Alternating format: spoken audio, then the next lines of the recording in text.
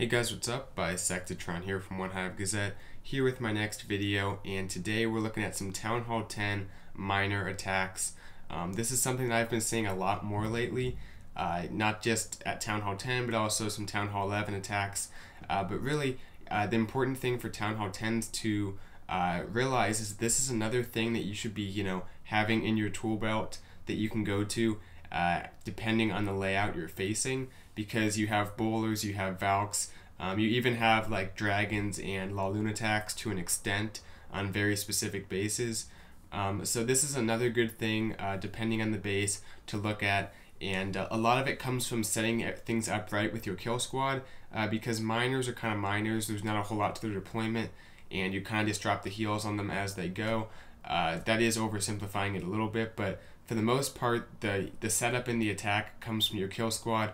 So that's the most important thing. And uh, we're going to take a look at two attacks, talk about kind of how the kill squad goes in, uh, how the miners go in, how those two different parts of the attack coincide, and uh, really how you deploy these types of troops. So anyway, uh, we're looking at Ragnarok. I'm told that's how you say it. It's not Ragnar, okay? It's Ragnarok.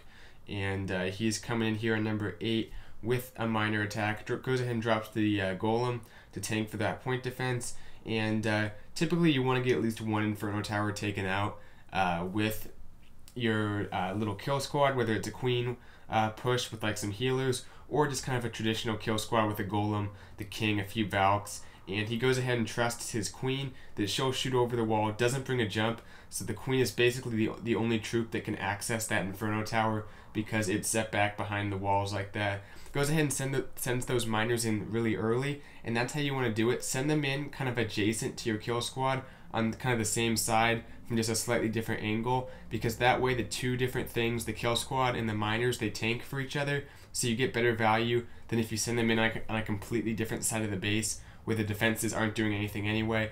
Uh, because that way nothing is really tanking for each other. You're not getting any value like that. Uh, so sends the miners in on the same side as the kill squad. They make their way through. And uh, one thing to note is that the Inferno Tower isn't quite as important uh, as it is in like a bowler attack or something because the miners can get healed uh, when they go underground. So as long as they keep moving, the Inferno Tower isn't that big of a threat. Now, obviously, at Town Hall 10, it's always the uh, the thing you want to look to take out the the quickest. It's the most important building, those two Inferno Towers. But still, um, they're not they're not going to make or break your attack in some cases because uh, the Inferno is the last thing to go down. Uh, but you can see here uh, everything else is down, so it's not much of a threat. Uh, the Queen will go down, but the Miners will make their way in and they'll take it out uh, for the three star. So awesome attack to Ragnarok. We're just going to take a look at one more replay. Uh, don't have a ton, but you'll see more of these in the future recaps and stuff.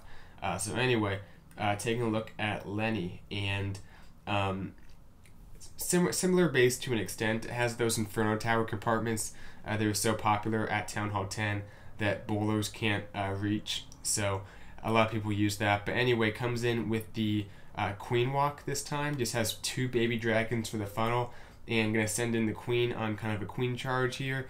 Um, another great thing to do, just come in there, um, get that one Inferno Tower taken out because it's going to be difficult for your miners to deal with two Inferno Towers. Uh, one is typically manageable, but two, unless you kind of have a leg up on the base in a different way, uh, you're going to have some trouble with your miners.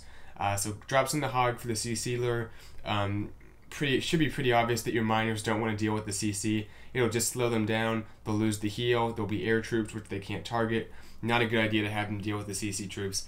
So poisons up everything in there. Pops the queen's ability. That level 40 queen goes right through the king and the golem, uh, and the balloon goes down to the poisons. So anyway, that's all good. Uh, Queen's gonna keep moving through. He has another rage for her, so he'll rage her up in just a moment. And you can see these people aren't bringing jumps because they don't need to. So you know, don't bring the jump unless you really need it, um, because you can bring a heal or a rage, which makes a big difference on these attacks. So sends in that kill squad right there, and they're not gonna get in there and get that inferno, but he doesn't care. He's clearing out uh, buildings for those miners. He's making a nice little runway at the top there for them to go right down the throat of this base, right down that little middle chute. Get there, get the Inferno Tower taken out. Um, and really, the Inferno is not going to do any damage to those miners. It's only level 1, and even if it was higher level, the Inferno Tower alone typically doesn't do it. There's usually splash damage or some, you know, high level point defense that gets everything taken out. So the miners do kind of ignore uh, the Inferno just because it has that little moat around it. Uh, so he did a good job with the final, just couldn't quite get the uh, enough miners there because those two that are on it will get taken out. Uh, so that might or that Inferno is going to have just a few hit points left, uh, but the Queen, everything else is up. He did a great job funneling and has a ton of troops left over, so those miners will go back up. A heal spell to swag, uh, crush this base. Um, but anyway, those are the basic uh, things, guys. You want to send in those miners on the same side as your kill squad. Uh, get in there, whether it's with the Queen Walk, split hero, or you know one solid kill squad. Come in there, get an Inferno Tower taken out typically aim to get the queen or uh, some of the heroes, the defensive heroes taken out, and of course the CC troops.